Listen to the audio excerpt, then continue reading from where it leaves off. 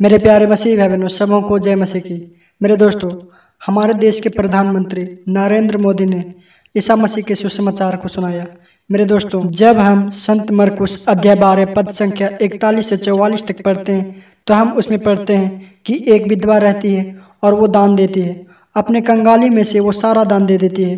भले ही वो छोटी सी दान हो, लेकिन प्रभु यीशु ने बताया कि उन्होंने सबसे ज़्यादा दान किया है, क्योंकि उन्होंने अपनी कंगाली में से उसके पास जितना था, उन्होंने सारा दान कर दिया। और यही सुसमाचार नरेंद्र मोदी ने सुना इसका ये मतलब है कि हमारे देश के प्रधानमंत्री नरेंद्र मोदी भी इस बाइबल वचन को पढ़ते हैं और वचनों पर चलते हैं।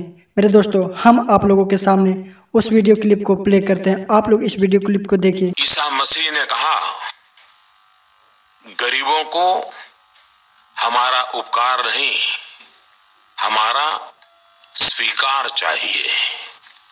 सेंट ल्यूक के गॉस्पेल में लिखा है, जीसस ने न केवल गरीबों की सेवा की है, बल्कि गरीबों के द्वारा की गई सेवा की भी सराहना की है, और यही तो असली एम्पावरमेंट है। इससे जुड़ी एक कहानी भी बहुत प्रचलित है।